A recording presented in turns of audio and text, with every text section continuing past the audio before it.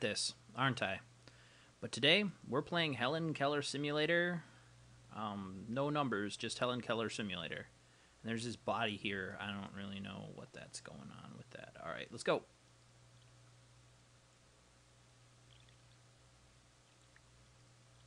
Yep, should have known. This is it. Black screen. There's a little bit of water sounds. Now there's nothing. Oh man.